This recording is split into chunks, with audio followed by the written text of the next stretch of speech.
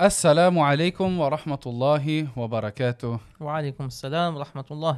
Alhamdulillah, välkomna till ännu ett avsnitt utav Islamologiskt. I vanlig ordning så uppmanar vi er till att fortsätta prenumerera, likea, kommentera, dela våra eh, samtal och avsnitt vidare så att vi kan fortsätta sprida den Yes. här kanalen. Alhamdulillah. Vi är snart uppe i tusen prenumeranter, det är det- nästa mål va? Delmålet är ju 1000 prenumeranter, det är dit vi vill nå så fort som möjligt. Jag tror vi är på 760 någonting. Yes. Eh, un- under förra veckan, sedan förra avsnittet, som alhamdulillah blev väldigt eh, populärt. Ja, Det gick upp i många visningar väldigt snabbt ja. och cirka 90-100 nya följare, så inshallah vi följer samma trend. ja. Eh, Vi har förresten inte sett något eh, än från DN, nej, någon artikel på det Nej. vi talade om. nej. Vi Jag- får se jag- vad som händer med det. nej, men jag tänkte, på, jag tänkte på det tidigare idag också. Jag frågade mig själv, jag vet inte om, om vi sabbade vi lite för Niklas? Jag tror inte det, men man vet aldrig. Jag vet inte hur sånt funkar. Alltså vi har, som vi nämnde förra veckan, han är, han är ganska duktig Han är journalist så han kanske, jag vet inte, Jag laddar bössan och på någon, med någon ännu Vi djurigare salva. väntar, eh, vi väntar Vi väntar och ser. förhoppningsfullt. Alltid välkommet. Tayyib. Yes. Ehm, vad har vi på tapeten idag? Ehm, vi Det har har ju hänt tänkt, några stora händelser i veckan ja, det, det känns nästan som för många för att få med allihopa. Ja. Så vi har väl eh, valt ut eh, tre områden kan man väl säga. Ja.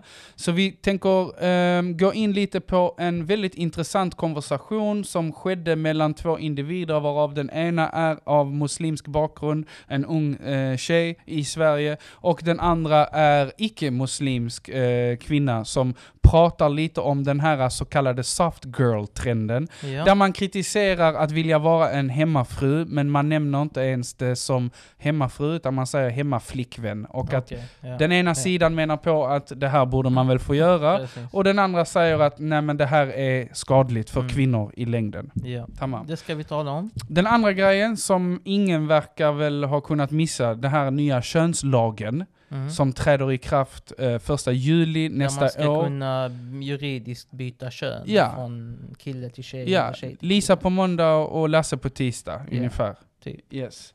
Yes. Ehm, och en, en, en eh, intressant frågeställning där är, hur ser kritiken mot detta ut? Och är kritiken överhuvudtaget hållbar om man utgår från deras egna premisser? Mm. Tamam.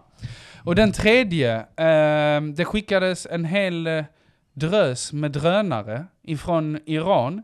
Och det skickades från alla håll och kanter kändes det som, mot ockuperade Palestina, eh, de så kallade israeliska delarna. Och det kan ju nog ingen ha Missat. missat i heller. Så det ska vi också prata om. Ja, så det kommer i dagens avsnitt. Mm. Men låt oss börja med den här första konversationen mellan de två oliktänkande kvinnorna. Ja. Eh, då är det en eh, ung tjej vid namn Folana. Ehm, hon talar om den här soft girl-trenden. Det ja. gör ju båda två. Eh, och hon nämner här att hon tycker att det handlar om kvinnans rätt att få leva sitt liv på det sätt som hon vill. I ett samhälle där alla har eh, förutsättningar och frihet att göra vad man vill så borde man kunna välja att vara en hemmafru eller om man vill jobba och ha en karriär. Mm. Så säger hon vidare att i, i, helt i enlighet med de liberala principerna. borde vara i alla fall. Ja. Borde vara. Ja. I Sverige känns det nästan mer accepterat om man som man säger öppet att jag har valt att vara hemma med mina barn medan min fru jobbar. Mm. Men går man ut som kvinna, att man har valt att inte ha en karriär och vara hemma och ta hand om mina barn, då får man väldigt mycket kritik. Fast än det egentligen är det mer traditionella. Vissa kanske till och med säger det mer naturliga. Jag är på väg att säga det, men eh, det var Ja, bra att du sa ja, det för ja, mig denna gången.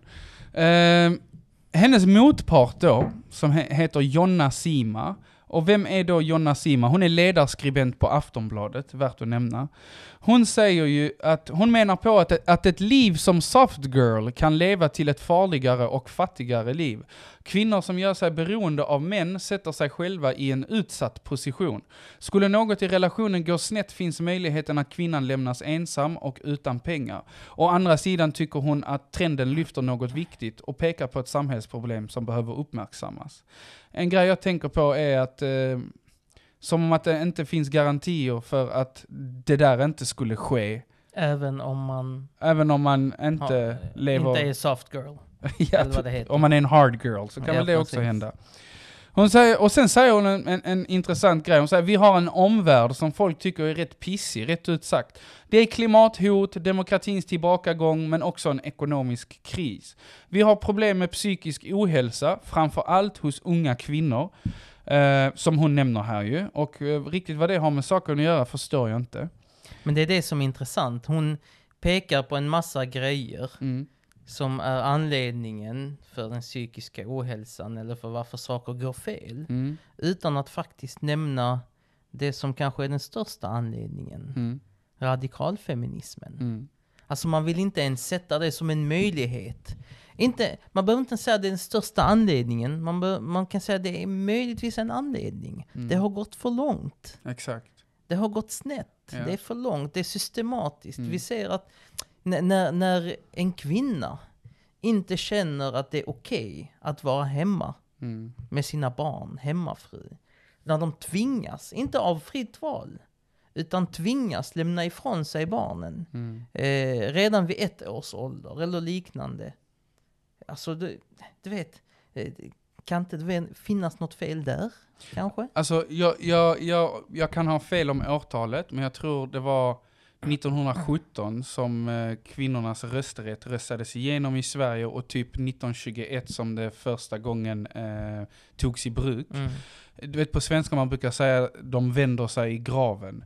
För jag tänker de som förde den kvinnokampen med att kvinnor skulle få ha rösträtt och genom det liksom få ett slags samhällsvärde. Men jag tror inte de kämpade för att kvinnor inte skulle få vara kvinnor på det sätt de vill vara kvinnor det, längre. Det tror inte jag heller. Det, det vet vi. Det har ju funnits flera vågor av eh, feminism och olika former av feminism. Den här är specifikt radikalfeminismen. Jag kan förstå att eh, kvinnor har fört en feministisk kamp emot många orättvisor som har funnits. Mm. Eh, både i väst men runt om i världen. Men jag tror att man har helt enkelt gått för långt. Ja. Man har gått för långt och man i princip shamear idag väldigt ofta kvinnor för att vara just kvinnor. Mm.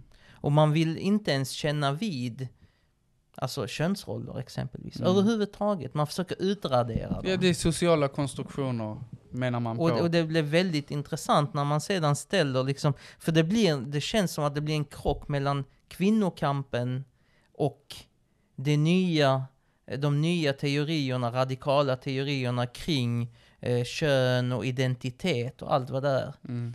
Så att, och, och det har man sett lite grann i USA, den här stora den här dokumentären som fick genomslag, What is a woman? Ja, ja, ja. Av Matt Walsh. Man kan, det finns säkert kritik riktat mot honom också, och den, 100%. men den lyfter upp en väldigt viktig fråga på ett väldigt så här Mm. eh, intressant sätt. Mm. Kan man säga. Och För- jag tror det är den diskussion som bör nå Sverige också. För, för de som inte har sett den, så för att förenkla vad den handlar om, det är typ att han går runt och frågar folk, what is a woman?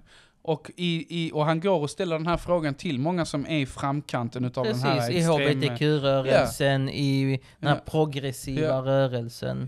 Och han får inte många vettiga svar. Nej, folk, folk, Får inga vettiga svar Nej. överhuvudtaget. folk kan inte definiera vad en kvinna är. Samtidigt som det har talats om en kvinnokamp som har varit viktig och så vidare Mm. och det ena och det andra. Men jag tror den, den, Ja. här, den här aspekten är väldigt Ja. intressant. För att om man, om man ska slå slag i saken, som man brukar säga här. Um, Fulana, hon säger ju, eh, nej Jonna Sima hon fortsätter och säger, eh, lösningen ska inte vara att hitta en rik man för att på så sätt ha det soft. Utan jag menar att vi måste prata om samhälleliga förändringar som möjliggör större frihet. Och då menar Fulana att ansvaret bör ligga på familjerna själva att bestämma hur de vill leva sina liv. Och att politiken inte hör hemma i frågan om familjekonstellationer.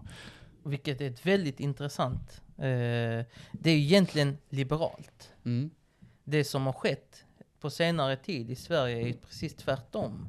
Att polit politiken ska ju in och bestämma hur Mm. familjen ska vara. Mm. Alltså man går in och försöker eh, liksom engineer, liksom bygga Ja. upp och försöka tvinga eh, bort människor från de traditionella Ja. könsrollerna. Ja. För att man har fått någon slags uppfattning om att det blir bättre. Ja. Jag tror inte det blir bättre och Nej. jag tror vi börjar se tecken på att folk tycker inte det är bättre. Kanske i vissa saker, men i många saker så är det destruktivt.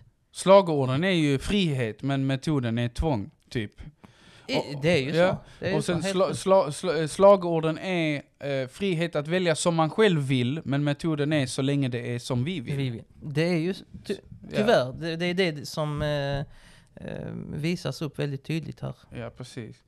Eh, och sen fortsätter Folena och säger, alltså det här handlar inte om att vi ska låsa in kvinnor eller låsa fast dem vid spisen, som, väs- som vänsterfeminister vill få det att låta. Det är okej att vara kvinnlig, det är okej att vara manlig, och det ska finnas ett fritt val. Det är vad detta handlar om. Mm. Eh, och för den som inte har förstått det, Folana heter inte Folana, eh, utan Folana heter Denise Westberg. Denise Westberg är en, eh, så vitt vi vet, en fullt etnisk kvinna. Etnisk Hon- svensk. Etnisk svensk kvinna, hon är superblond. Eh, ser ut att vara blond och blåögd. Och eh, det är alltså inte någon ung muslimsk hjärntvättad, förtryckt kvinna som kommer med de här grejerna. Utan en helt vanlig Svensson-tjej vid namn Denise Westberg. Och, Och det är det som är den andra intressanta punkten när det kommer till detta. mm, Att hur hade det låtit mm, om det här hade varit muslimer som går ut och säger detta? exakt. Hur hade liksom, hur hade eh, jargongen ifrån den andra sidan varit? Ja. Hedersförtryck kanske? Ja, jag tror inte man hade dratt in klimathot i bilden i alla fall. Nej, Snarare terroristhot eller någonting. Snarare det ja. Ja, Och internaliserat eh, religiöst förtryck och det ena och det andra. mm, Men vi ser att de här sakerna är, går mycket djupare än bara ideologi eller Mm. politik eller Mm. ens religion. mm, Vi utgår ju från att det här är fitra, alltså det här är något som finns i människor. Könsroller är djupt mänskliga. mm, Det man har gjort i Sverige på senare tid att man försöker programmera bort dem mm. aktivt. Det om något är ju sociala konstruktioner. Det är en social, och det är inte bara en social, det är inget naturligt som kommer naturligt, utan det är något som är engineered, någonting du Mm. försöker pusha för liksom. Mm, Och, och jag tror inte det funkar i längden, sådana experiment, för det är Mm. ett experiment, mm. det funkar inte i längden. Nej, Och de som säger att det inte finns liksom, man brukar prata om belägg och det ena och det andra.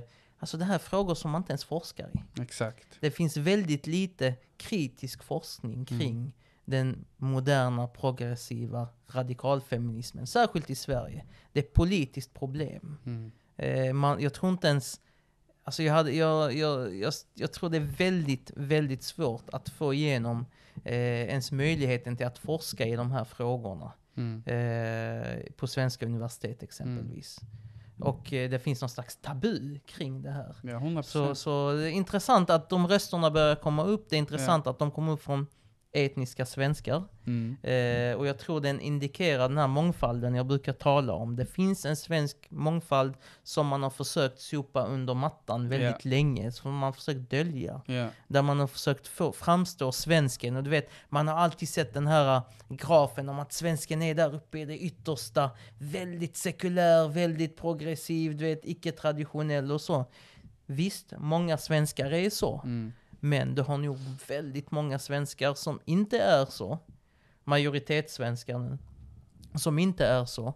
Och som har blivit tystade mm, väldigt länge. mm. Och jag tror vi, vi har börjat se en ändring på det, vilket är bra. Ja, för att eh, någonting som eh, känns nästan som en naturlig övergång här, det är ju det här med eh, könslagen då ju. Ja, För att det hänger ju på lite ideologiskt i alla fall. Precis. Eh, så vi kan ju börja med att berätta om vad är det som har skett. För, Mm. för den som har lyckats missa det, grattis säger jag. Men den nya lagen träder i kraft den första juli nästa år, det vill säga 2025 då. Ja. Det innebär också att dagens könstillhörighetslag delas upp i två nya lagar, skriver TT.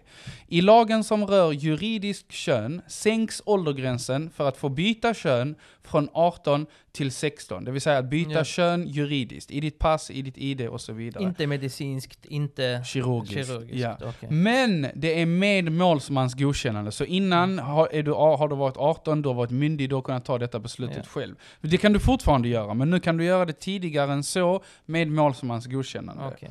Eh, Känns lite som en... säg det, det. det känns lite som en sån här... Är det lite hedersförtryck? Eh, nej, Eller vad ja, tänkte du på? nej men okej, tänk dig att en målsman säger nej. Ja, Du är 17 år gammal, ja, du vill byta kön. ja, Och så säger dina föräldrar nej. ja. Tror du dessa föräldrar kommer bli anmälda till LVU? Mm. Tror du att de kommer få en orosanmälning på sig? Och Mm. eh, bli tillsagda exempelvis att nej, det här är heder. Mm. Hedersförtryck. Mm. Inte en chans. Det tror inte jag heller, Nej. men det är intressant. Ja, ja, I 100%. sammanhanget när vi har talat en hel del om hedersförtryck och Ja. liknande. Ja. För att om man utgår ifrån de här granskningsrapporterna som kom fram då, Ja, som ja, också kom fram att de var inte vetenskapligt grundade för fem Precis. öre. Men enligt de premisserna så borde det här ju definitivt falla Klassas under... som heders... Ja, Alltså man begränsar ju barnet nu, som i detta fall är 16 eller 17 år gammalt. mm, Man begränsar dem i, vad, i deras identitet och hur de vill uttrycka den. mm, mm. Intressant. Så ja, det, här det, är ändå en... det är en intressant, men det är också motsägelsefullt. För du vet, i, i den svenska lagen så heter det ju att man blir byxmyndig när man är 15. Så man får Mm. inte lov att ha eh, intimt umgänge med någon under 15. Men samtidigt kan två 14-åringar, där pojken och flickan, eller då två flickor eller två pojkar, som är under 15, båda är 14, ja. så länge de har samtycke så kan de ha i, alltså, s- sex. Och även när de är så, och, och när de är över 15 så är det ju fritt fram i Ja, ja. princip. ja, ja, mer eller mindre. Mer eller Ja, mindre. så länge det finns samtycke, det är Ja, det ja, lagen ja. säger. Men så du, när du är 14 år, du kan eh, göra de här valen själv. Och du, precis, du Men- kan ha sex och samlag och även när du är 15 Ja. och det är Ja. 16 och allting. Men du kan inte byta juridiskt kön När du i är 17. 17, Ja. precis, i, utan målsman. Två veckor innan du är 18. Behöver man målsmans godkännande även när man ska, man ska ha sex när man är 16 år? det tror jag. Inte. Det mamma får jag lov Jag menar, att- men Nej, att nej, byta nej. identitet i ID-kortet, Ja, okej. ja du ser. okej. Det är farligt eller varför? Ja, ni, du får inte lov att Nu ta ett pratar jag lån. rent utifrån ett sekulärt ja. perspektiv. Ja. För utifrån islam är saken någonting tydligt. Du kan inte byta kön. Är du född Mm. som man så är du Mm. man. Är du född som kvinna så är du kvinna. Mm. Eh, det, så det är vad som gäller islamiskt. Så, alltså, Men- Ja. Du, du kan inte handla alkohol varken på puben eller på Systembolaget. Okej. För du är inte tillräckligt vuxen. okej. Du kan inte köra bil, alltså ha Okej. körkort, för du är inte över 18. okej. Du är inte fullt straffmyndig, för att du är inte vuxen. Precis. Men så länge mamma säger det är okej, så kan du byta kön. Juridiskt. Juridiskt. Men du måste ha mammas godkännande. N- Ja, fast, fast vänta, det finns en, den Eller andra pappa. delen i det här. Så kolla här. Så den, den här lagändringen fortsätter och säger, ingen könsdysfori-diagnos ska heller krävas, så det har behövts innan. Mm. Utan det ska räcka med en vårdkontakt innan. Innan man då juridiskt byter Vad kön. innebär en vårdkontakt? Liksom en Vad vet läkare jag. som att man har visat Alltså, som, intresse för som att byta jag kön? har förstått det... Ska jag snacka i nattmässan här igen? Men som jag har förstått det, typ om du pratar med sjuksystern på skolan. Eller en läkare eller någonting. Ja, Och säger att, eh, ja men eh, jag känner mig som något annat. Ja men alltså ingen könsdysfori-diagnos ska krävas. Så vad det är för Mm, slags mm. vårdkontakt känns lite diffus. Ja. Men i den andra lagen som rör den kirurgiska processen är den största förändringen att det inte längre krävs ett godkännande från Socialstyrelsen. Okej. Så, det, så det är det som gäller. Va, vad ska man göra utav detta mer än att det är riktig soppa? Ja, jag, jag vet inte riktigt vad, eh, alltså, jag, jag har inte förstått kritiken emot det riktigt. Ja, vi har hört någon kritik, det var någon, eh, du kan citera henne kanske. Det, Det, det var en, väl det eh, främsta som, vad heter hon, Giovanna? Eh, Den här kristna en som är, hon är chef för institutionen för kliniska vetenskaper på Göteborgs universitet. Hon är även ordförande för föreningen kristna, lä kristna läkare. Hon heter Giovanna Dahlgren. mm, Hon säger att det här är eh, att sänka åldersgränsen från 18 till 16 med målsmans godkännande, det är fel väg att gå. Det är framförallt att man sänker åldern för byte av juridiskt kön som jag har reagerat på. Hon säger att den här lagändringen riskerar i förlängningen att leda till att fler unga människor genomgår medicinska förändringar som de kommer att ångra senare i livet. Det är mycket bättre att vänta tills man är vuxen och kan förstå vad det innebär att genomgå eh, icke-reversibla behandlingar och framförallt det ultimata sedan med ett kirurgiskt ingrepp. ja. Så egentligen vad hon säger, lite Mm. förenklat, Mhm. Att det här är nu det ju- juridiska, tidigare lägga juridiska könsbytesåldern Mm. är lite grann som när man införde eh, övningskörning med målsman. övningskörning med föräldrarna liksom vid 15 års ålder eller vad det är. det är lite roligt men jag vill ju, Ja. jag vill ju ha det lite förenklat va. Ja, Det vill säga att nu börjar folk övningsköra i tidigare ålder, så när de är 18 så paff, körkortet efter en vecka liksom. Och det här ska vara en liknande, liknande grej då. Det känns, jag, jag, jag vet, det känns som att, jag förstår argumentet, jag vet inte hur realistiskt det är. Är du med? Jag är helt Samtidigt, samtidigt, jag menar 18 år med. För ett kirurgiskt könsbyte. ja. Men, Alltså hade du sagt till mig, nu, nu talar vi bara utifrån sekulära perspektiv. Hade du sagt till mig 25 år så hade jag sagt okej, jag fattar. Men 18 år är galet. mm, En 18-åring är ju inte, visst de är myndiga, mm. de anses vara vuxna, men de är ju inte fullt utvecklade vad gäller hormoner, vad gäller tillväxt, vad gäller hjärnans eh, fullständiga utveckling. Livserfarenhet överhuvudtaget. livserfarenhet. Alltså det är fortfarande mycket biologiskt som sker i kroppen. Mm. Och nu ska man in och liksom operera Vi rotar i det mest fundamentala. i, en, i den här människan då. Ja. Okej. Jag, jag har faktiskt, jag lyssnar på ett väldigt intressant, kommer jag på nu, eh, intervju Ja. eh, på, i någon podcast med någon som ångrat sig. Och de är allt hört, ja. fler, de är allt fler som ångrar sig och jag tyckte så synd om denna människan. Mm. Alltså jag tycker i synd allmänhet om människor som hamnar i detta, den här dysforin Mm. liksom. Där man inte vet riktigt och du vet, Mm. identiteter och allting. Mm. Eh, som medmänniska. Alltså Jag- jag vi, vi det. önskar dem allt gott och hoppas att liksom, de, de löser det här, eh, sina, sina utmaningar. Men Mm. att man tillåter kirurgiska ingrepp. Jag har lyssnat på den här eh, killen då, Mm. som blev en kvinna. Mm. Som gjorde sig så att säga till en Och- och kvinna. Fullbordade hela det kirurgiska. Hela allting. Och än idag, alltså nu, jag vet inte hur många år, och, och den här personen ångrade det. Mm. Eh, och får liksom köra upp i, sitt, i sin passage, främre passage, en lång pinne liksom eh, varje vecka eller var tredje dag eller någonting för att det inte ska gå ihop igen. För de gör ju om det till ett, från ett manligt könsorgan till ett kvinnligt så att säga. Och alltså det var så, när jag lyssnade på det där, bara tänkte hur mänskligt är det där? Alltså hur kan man utsätta människor för sådant? Hur kan man utsätta människor för sådant? Det är fruktansvärt. Och att, utse- och att låta ungdomar, för de är fortfarande unga, ja. som inte har fullt utvecklade hjärnor, som inte har fullt utvecklade eh, kroppar och biologi, utsättas för sådant. Jag, jag har ingen förståelse för det överhuvudtaget. Så att sitta och tjafsa, det är vad jag känner. Sitta och tjafsa om juridisk Mm. Könsbyte vid 16 års ålder. Jag, jag fattar den kristna läkarens invändning att hon kanske försöker göra någon slags dämpande, du vet. Mm. Eh, någon slags, eh, för att Mm. inte det går ut för du vet, man vet aldrig, nu är det 16 år och Mm. snart sänker de även det medicinska. Det är det, det, ten- det tenderar till att bli bara värre och värre. Mm. Så de kommer gå från att sänka den juridiska åldern, sen kanske om några år börjar de sänka den biolo- alltså kirurgiska Ja. åldern.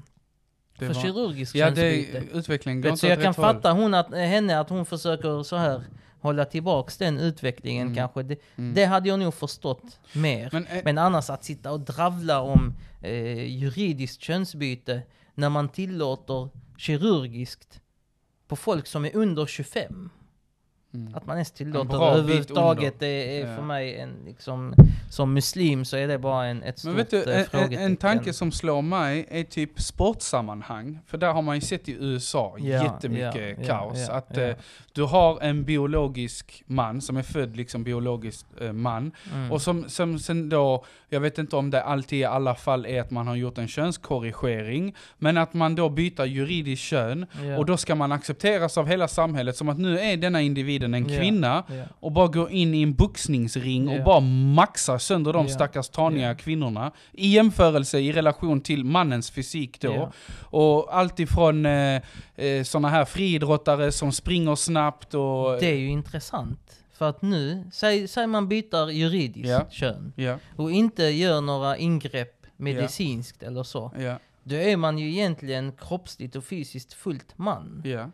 Jurid på papper är du kvinno, Ja. kvinna. ja. Ska du börja liksom gå in i kvinnliga. Eller omklädningsrum, hur? på badhusen. Om jag är på badhuset med min lilla dotter som är två, lite Ska mer det än två komma år. fram liksom en man en fullvuxen naken man. som definierar sig, okej du kommer inte vara på kvinnoavdelningen. Det är i och för sig sant. Men, Ja. säg, de, säg det, de, Ja, men säg att min barnet fru är med sin, med sin mamma, precis. Är Det- det som, ska din fru behöva se det där Nej, exempelvis? fullständigt vansinne. och, Och sen, ska de tävla i idrotts i idrottssammanhang på samma men det, men det var, villkor som alltså det kvinnor värsta- det värsta som är är ju- fysiskt svagare och mindre Exakt. kroppar och allt det där. det, det värsta är ju att om en sån, låt oss säga att den här situationen skulle uppstå, för jag, jag, jag blir inte förvånad om det redan har uppstått någonstans. Mm. Sk- Ska min fru inte få säga typ, vad gör du här inne? Du är en man Mm. ju. Sen Ja, bara, nej. nej det är inte alls det. Sen bara Så visa plocka sitt pass. Ja. Ja. Va, va, Ja, ja, jo, jo, jag vet inte. Det, det är en uh, gåta. Vi Var det här är i, samhället eh, är på väg. Du vet de säger, ge- eh, vad är det de kallar det? De det är på säger, eh, väg. subhanallah. Gud vet bäst. Du vet de säger, eh, vad är det de säger? Boomers, gen, eh, vad säger de? Generation C. Ja, De kallar det massa olika- där, ja, Nu det är som generation anything goes. Det är ju så. Det är bara så. fritt lite- fram. Men eh, en sak undrar jag. Aha. Är vi transfoba nu? Transofoba, vad heter det? Trans, Transfobi? transfob. Är du en transfob? Det hoppas jag inte, men... eh, Är du inte? jag vet inte. Det beror på vad man menar med det. Alltså om, om, om... Är de transfoba nu? Alla de här som gör invändningar Mm. mot, att, eh, mot könsbyteslag. Ja, alla, alla de Är här... de transfoba? Blir de anklagade för det? Det tror jag inte. Så länge de inte, inte är etniska svenskar tror jag att det är större risk för Men om en de, imam gör det, blir han transfob då? Jag vet inte. Jag känner, Kanske. jag känner ingen som... Vi får eh, se vad IFS säger. Ska vi? Jävla tid. Ja. Nej jag vet inte. Jag kan säga så vi- mycket, nej jag kan bara avsluta med att ja. säga så mycket som så att om, om man är transfob för att man anser att det finns liksom två biologiska kön, Mm. där man föds till man eller föds till kvinna, Mm. ja okej men då är jag väl det i så fall. Ja, det är väl många människor som är det. Många människor, muslimer och icke-muslimer. fall. Yes. Khair inshallah. Sist men absolut inte minst. Ehm, Iran var i farten. Ja, I en fart som heter duga. ja. De skickade... Väldigt intressant utveckling faktiskt på det, kändes det inte som att det skedde lite på en klackspark? Man har sagt i flera månader, "M- om ni bara, och sen så sker det så gör man inget. Men om ni gör så här så sker inget och så gör man inget Det är och så mycket vidare och som så har vidare. hänt. Sen bara, poff! Vi skickar x antal bomber. Det var inte så puff dock. det var inte det? Man varnade två veckor, i två veckor eller tio dagar eller vad det var. Tamam. Nästan. Ja men vi kommer att svara, vi kommer att svara. Sen varnade man eh, en dag innan. Och sen så varnade man också eh, någon timme innan. Mm. Så att det har, det har eh, så vad är det som har hänt för de som inte vet? Mm. Israelerna eh, bombade en, eh, ett konsulat eller en ambassad Ja. tillhörandes Iran Ja. i Syrien. ja, precis. Eh, men som vi alla vet, sådana fastigheter räknas ju som eh, tillhörandes, det är som att det är iransk mark. Exakt, exakt. Angriper man en ambassad eller ett konsulat, det är som att man angriper Landet Iran, i landet fråga, i fråga. Så den är väldigt viktig. Eh, hur många fördömanden fick du, tror du vi hörde från eh, fördömande rösterna i väst? Från de fördömande rösterna i väst? Inte en enda. Det här är ju ändå ett direkt angrepp Ja. av en stat, skurkstat, mot en annan. Mm. Okej? Iran då, Israel. Israelerna attackerar Iran. Mm. Hur många fördömde detta? Mm. Inte en enda. Inte Av så väst. jag vet i Av alla väst. fall. Ja, precis. I öst och Ja, andra det är- delar så det har det något annat. funnits. Absolut. Ja. Okej. Och så, vad händer då? Iranierna, efter många om och men och en lång tid, Mm. svarar. Mm. Okej? Vi kan diskutera svaret nu. Vi ska diskutera olika saker som har hänt Mhm. här. Men eh, hur många fördömde det svaret? Irans svar. Precis. Alla. Alla i väst. Ja, ja. Alla. Alla i väst. Ja. Och däribland Sverige och Ja. svenska politiker. Om, man menade till och med både, på... själva, både regering och opposition. Ja, om man menar på om man inte fördömer det så är det något som är fel liksom. Precis. Ja. Så att eh, samtidigt, samtidigt ska vi minnas att dessa människor dessa eh, politiker som Mm. fördömde Mm. Irans mot, Irans svar. Hur många av dem Irans har svar. fördömt de här eh, krigs, eh, illegala Brotten. krigsbrotten mot palestinierna ju, eh, utförda Folkmordet utav... i Gaza, massakrerna. Exakt. Journalistmassakrer, barnmassakrer, sjukhusmassakrer, Allt. mjölmassakrer, massakrer. Man hittar idag någon massgrav, Mm. 200 lik, 200 döda. Mm. 200, vi ser dem som shuhada, Mhm. okej? Martyrer. martyrer. 200 sådana, en massgrav som israelerna har lämnat efter sig. Mm. Okej? Detta är vad, vad som förtjänar fördömas. Mm. Tusentals mördade, slaktade barn, Mm. tiotusentals Mm. barn och kvinnor som har mördats och slaktats. Hur många har fördömt det Exakt. av dessa politiker? Exakt. Inga. Exakt. Inga. Hur många av dem har Magdalena Andersson utkrävt ett fördömande utav? Inga. Inte en enda. Inga. Så, eller Ulf Kristersson. Uffe Ponken. Är du med? Ja. Hyckleriet På hög nivå. når nya gränser. Mm. Väldigt intressant. Mm. Och jag tror eh, Irans svar, om det hade någon nytta, Mm. så var det att lyfta fram det än en gång, det hyckleriet som vi ser i många väststater, inte alla men många. Ja. Okej, hur många dog i Irans attack? Inte en enda. Så vitt jag en vet. Enda. Inte en enda. Nej. Inte en enda. Och min tolkning, min tolkning är att det var avsett så. Iranierna uttryckligen uttalade, och nu är jag inte den som är Irans advokat, jag är kritisk mot många saker som Iran gör. Mm. Men Iran uttalade uttryckligen att de skulle angripa militära baser. Exakt. Det och det det gjorde de också. Och det gjorde de. Ja. Det är det första. De gav dem förvarning efter förvarning. Ja. Och sa nu kommer vi, nu skickar vi, timmen innan till och med. Ja. Okej. Amerikanerna säger om fyra dagar kommer attack. Alltså de hade full ja, koll. Ja, stenkoll. Alla hade full koll. Och alla kunde eh, mobilisera sina grejer för att slå ner dessa. Ja. Jag tror att Iran ville ha det på det sättet. Det, det, jag, tro, jag tror inte Iran, Iran vill inte dras in i ett storskaligt krig. Hade man velat det så hade man gått tillväga på ett helt annat sätt. Mm. Samtidigt så tror jag att Iran visade att de har förmåga att skada om de vill. För de skickade några hypersonic eh, Ja. cruise missiles Ja, ja, som faktiskt landade. Som Lite den här Iron. Dome, som Iron Dome eh, inte kunde stoppa. Bara som markering. Ja. Och de slog ner. De gjorde inte så stor skada enligt israelerna, enligt Mm. iranierna har varit stor skada Ja. och förstört de här militära flygbaserna, militära flygbaserna i, hos israelerna. Oavsett så tror jag syftet som, alltså bakomliggande syftet hos iranierna var att just skicka signaler. Mm. Vi vill inte in i ett storskaligt krig, ena signalen. Men samtidigt så kan vi vålla skada om vi vill. Mm.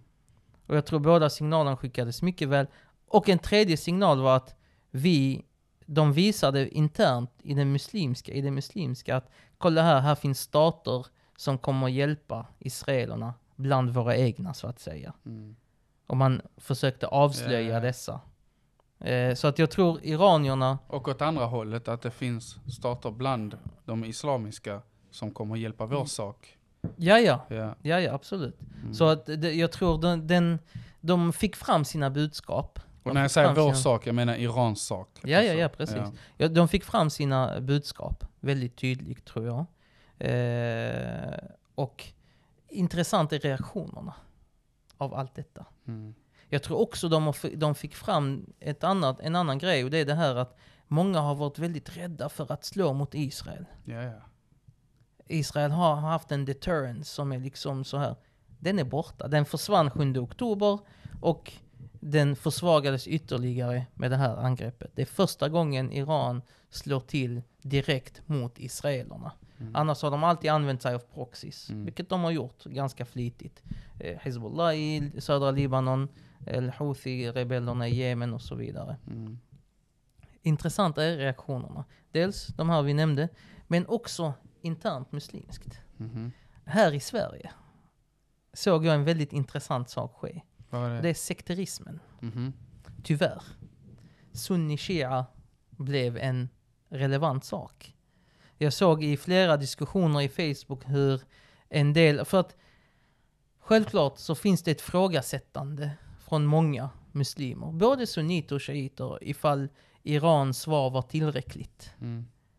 Dels i att man ser exempelvis att ja men eh, era bröder och systrar i Gaza har slaktats i tusentals. Ni reagerar inte förrän man slog mot er ambassad. Är du med? Mm. Ett folkmord pågår och ni reagerar inte förrän det gäller era egna intressen. Mm. Det är en kritik som har kommit. En annan är, om ni nu kan skada, varför skadar ni inte? Varför sätter ni inte stopp för folkmordet genom att slå till ordentligt? Ja, Är du med? Så det har funnits en kritik. Den, det negativa, tyvärr, som jag säger tyvärr, tyvärr för att den ofta färgas av en sekterism. Mm. Vi har sett röster mot denna sekterism, men där är också den här att sunniter kommer att vara, eh, ha lätt att kritisera Iran just för att det är shiitiskt. Mm. Och shiiterna försvarar Iran fullt ut för att det är shiitiskt. Och försöker då lyfta fram Saudi och andra som, eh, de, de här gör ingenting. Mm. Mm. Liksom ett slags rättfärdigande. Ja, det argumentet är lätt för dem att... Ja, att, att dra fram. Mm. Så att eh, jag tror, det här såg jag tyvärr.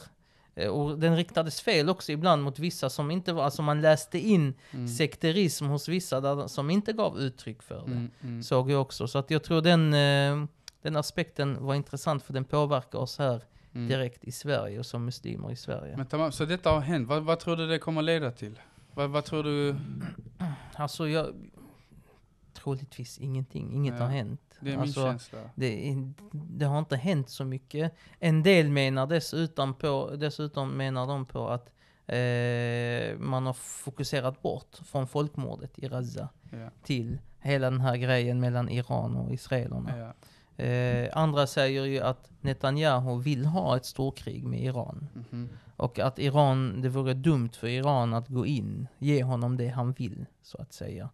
Och det gynnar inte dem, de hade nog fått ganska mycket stryk. De hade skadat israelerna också, Mm. men på grund av hur läget ser ut i regionen och Ja. USA och deras allierade i regionen För och så vidare. Netanyahu- Så var det nästan ett självmord Ja. som, som, man, som i längd också skadar den palestinska saken och så vidare. Att det inte finns något slags motstånd i regionen. Precis. Så det finns argument som har gjorts bak, eh, tillbaka, fram och tillbaka. Ja men så att de, säga. den bilden kan jag se för att Netanyahu, det är väl ingen hemlighet att han är mer kritiserad än någonsin. Men om det kommer till att Israel står under attack från Iran, då vill man inte helt plötsligt, ja men vi tar in någon annan och hit och dit. Nej men om man vet att den här mannen är galen, då vill du nog ha en som är galen som det försvarar var ju landet. också någonting folk pekade på att open, världsopinionen, även den västerländska världsopinionen, hade börjat vända Mm. mot eh, Israel. Men att attacken från Iran helt plötsligt gjorde att det vändes tillbaka. Mm. Att det var en strategisk sak av Netanyahu och att iranierna gick på detta. Mm. Är du med? Så Mm. helt plötsligt var amerikanerna, britterna, fransmän, jag vet inte, allt de här och hela världen fördömde liksom nu Mm. de som angrep Is- Israel var offret igen. Och de är väldigt duktiga på att spela offer liksom. det är deras sjukt. grej. Eh, så att det, den, eh, det, det är en intressant utveckling. Jag skulle nog säga dock som råd till våra bröder och systrar Ja, där ute att fall inte för sekterismen. ja. Oavsett vilken sida ni är på. Lyft hellre fram möjlig eh, kritik för och emot. Mm. Alltså ha samtal där man lyfter fram de olika sidorna, de olika syn. Var inte sekteristisk i Ja. det här. I slutändan så handlar det om det viktiga vi har är folkmordet i Gaza. Exakt. Och det är vad som sker och förtrycket mot palestinierna. Det är i slutändan inte relevant i det sammanhanget om det är Iran eller Saudi eller Sunni eller Shia eller Ja, vad ja. det än är. Det är helt irrelevant i sammanhanget. man ska inte låta de isolerade händelserna eh, skymma helhetsbilden om vad det är faktiskt som Absolut. händer. Och inte låta våra sekteristiska Ja. eh, skiljegrenar, eh, liksom Ja, skilje, eh, meningsskiljaktigheter, Mm. eh, få, få oss förblindade för Exakt. för det som faktiskt sker där nere. Eller att vi inte kan, jag menar även om du ser en sunnit som din meningsmotståndare, eller sunniten ser en shiit som meningsmotståndare, så är vi nog ganska överens i motståndet mot det förtryck som Israel står för. Ja, ja. Och vi är överens i stödet till våra palestinska bröder och systrar. Oavsett om man är sunni och shia. Så man ska inte gå på det här. Exakt. Och man ska kunna ta emot, tycker jag, eh, kritik. Alltså kritisera en stat. Iran är inte hela shiismen. Nej, det är helt sant. Och eh, Saudiarabien är absolut inte hela, inte ens en del av sunnismen om du frågar många va. Mm. Eh, och liknande. Så att eh, eh, låt inte nationalstater eller nation, eh, stater liksom eh, ta över er religion. Mm. Och religion. Och visst, jag kan förstå att man känner att Iran har gjort mycket för shiismen och så vidare. Och andra stater har gjort mycket för sunnismen. Och jag kan fatta de sakerna. Det är inte eh, helt eh, enkelt. Samtidigt så det är dumt att förminska eh, din religiositet, din moral, även om det är din eh, sekteristiska inriktning till en stat, din politisk entitet. Ja. Så att 100%. eh, det, det borde vi tänka bättre och Ja, vi får, bättre se, på. vi får se hur utveckl- utvecklingen ter sig. Så eh, ja, idag det var ju intressant. Vi hade lite att man inte får lov att vara hemmafru. Vi hade lite att man kan byta kön eh, som eh, man vänder kappan efter vinden. Och sen lite att Iran bombar Israel. Fullspäckat. Yes. Ja, eh, innan vi avslutar dagens samtal för att gå vidare dock, så vill vi bara eh, uppmärksamma våra lyssnare om eh, våra älskade bröder uppemot Göteborg och Falköpingsområdet. Yes. Eh, det är våra två bröder Daniel Nilsson, Abdulkader Nilsson och Nasmer Ah, förlåt bror, jag slaktade den igen. Jag kommer inte ihåg om det var Sana eller Jana. Jana. Jana. Jana. Chana kanske. Ja. Förlåt bror. Eh, de har startat ett initiativ som heter Ammotalks på TikTok. AMMO Talks. Och eh, deras eh, syfte med att dra igång den här grejen är som det låter som. Ammos, lite äldre brödrar som delar med sig av livserfarenhet eh, och riktar sig till den yngre muslimska generationen. Ja. Eh, Abdulkader har ju varit 7-8 år i Jemen, i Tarim och studerat islamiska studier. Mycket fin broder. Eh, Nasmer, han är aktiv i, jag vet inte var man ska börja, han är aktiv i både det ena och men, det andra. Men väldigt mycket romska cirklar. Han är i, imam i den eh, romska, Romska församlingen. församlingen. Eh, församlingen i i Falköping. Men han är aktiv i massa andra, andra grejer och där det finns sker att göra är han och likaså Abdulkader. Så det där är någonting som vi rekommenderar starkt. In In på, och stötta dem. in på TikTok, följ deras sida, likea deras inlägg ehm, och bidra till att även det sprids ut inshallah ta'ala. Inshallah ta'ala. Så med det sagt, vi tackar för dagens avsnitt. Vi uppmanar er till att prenumerera på vår kanal på Youtube. Likea, de- dela, kommentera, eh, sprid budskapet vidare så att vi kan fortsätta med detta arbetet. Barakallahu fikum, assalamu alaikum wa rahmatullah. Wa alaikum salam wa rahmatullah.